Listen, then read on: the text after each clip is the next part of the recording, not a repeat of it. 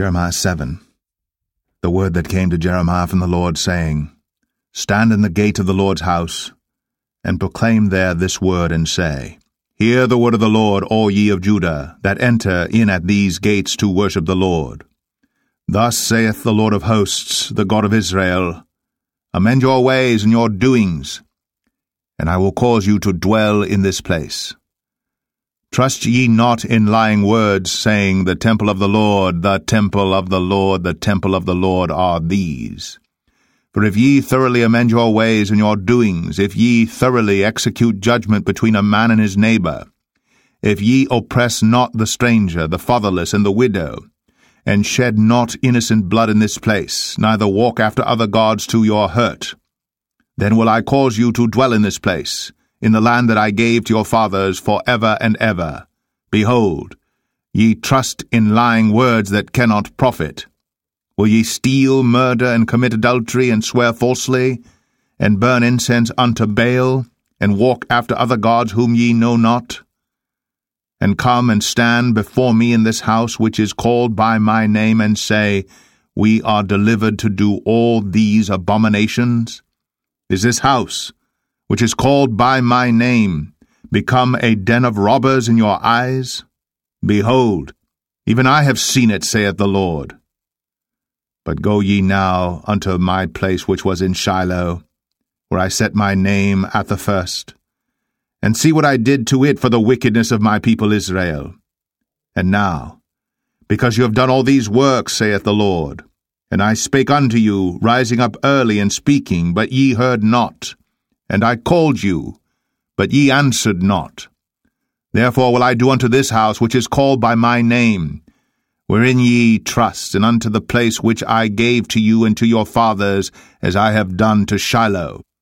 And I will cast you out of my sight, as I have cast out all your brethren, even the whole seed of Ephraim. Therefore pray not thou for this people, neither lift up cry nor prayer for them, neither make intercession to me, for I will not hear thee. Seest thou not what they do in the cities of Judah and in the streets of Jerusalem? The children gather wood, and the fathers kindle the fire, and the women knead their dough to make cakes to the Queen of heaven, and to pour out drink offerings unto other gods, that they may provoke me to anger. Do they provoke me to anger, saith the Lord? Do they not provoke themselves to the confusion of their own faces? Therefore thus saith the Lord God, Behold, Mine anger and my fury shall be poured out upon this place, upon man, and upon beast, and upon the trees of the field, and upon the fruit of the ground, and it shall burn, and shall not be quenched. Thus saith the Lord of hosts, the God of Israel Put your burnt offerings unto your sacrifices, and eat flesh.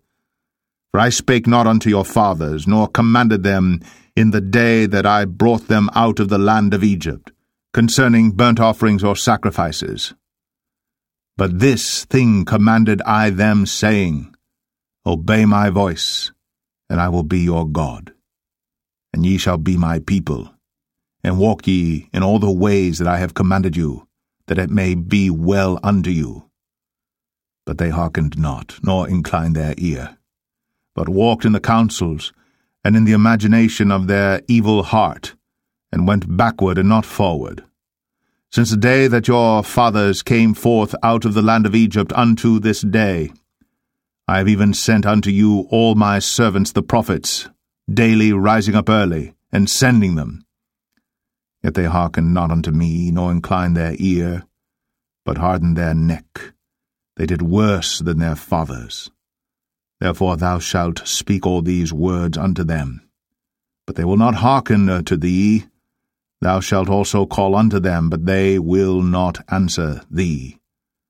But thou shalt say unto them, This is a nation that obeyeth not the voice of the Lord their God, nor receiveth correction. Truth is perished, and is cut off from their mouth.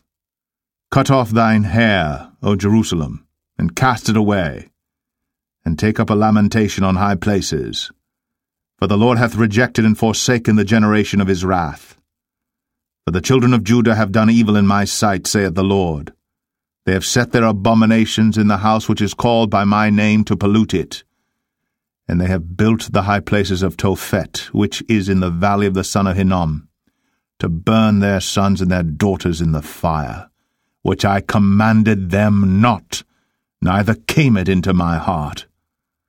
Therefore, behold, the days come, saith the Lord, that it shall no more be called Tophet, nor the valley of the son of Hinnom, but the valley of slaughter.